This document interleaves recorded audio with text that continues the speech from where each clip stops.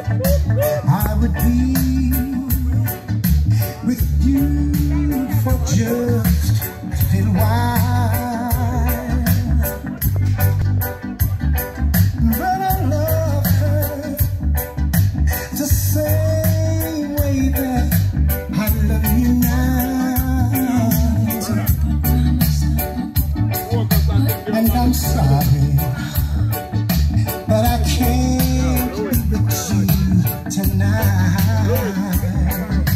Hey!